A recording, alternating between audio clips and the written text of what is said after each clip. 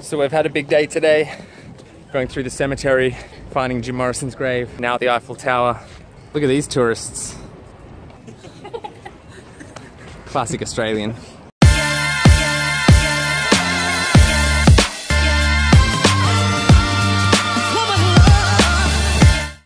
We are in the famous cemetery in Paris where Jim Morrison and Oscar Wilde and the likes of them were buried, trying to find their graves, which is very difficult. We're here with our guest presenter, Alex, em- Emily's brother, Bangkok. straight from Bangkok, met us in Paris. A little lost, but finding our way. Two hours That was funny because I'd, I'd put in a two hours later bit when we were looking for the Da Vinci Museum in Florence. Now we're looking for the Da Vinci Museum.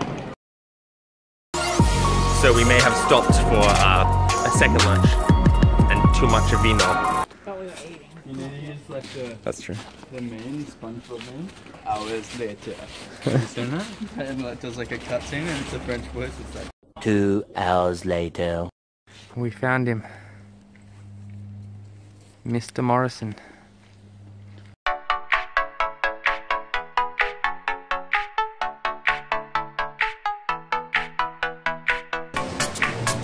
Mm-hmm.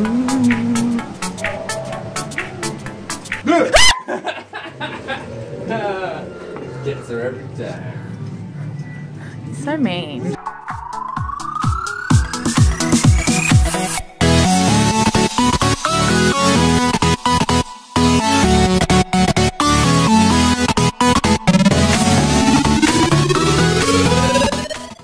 So something you obviously must do if you visit Paris is come and see the Eiffel Tower.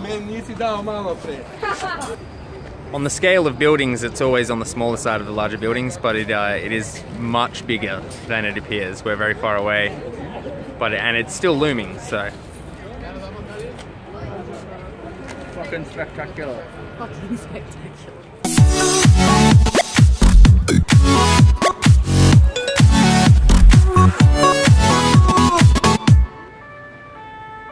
Okay, so we've been waiting here in the park outside the Eiffel Tower all day for the lights to go on, and they've finally arrived.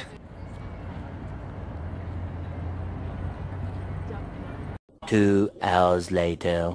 Currently on Champs Elysees or Champs Elysees. We don't know how to pronounce it. Champs DLSA. Champs with Alizé. We're, we're walking into a store right now, but it's where all the main stuff is in Paris. It's like the main street. This episode's gonna look weird because I had a beard for the first half of it, and now no beard. I better edit in order or that'd be very, very confusing. Guest starring Alex Barnes and Callan's identical twin, beardless Callan. McDonald's, where you can order a Royale with cheese.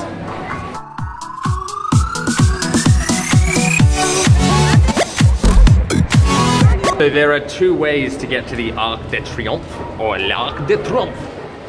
And those two ways consist of either taking this underpass, which we're going through right now, or running across a road filled with a thousand cars. I wanted to run across the road. He did want to run across the road.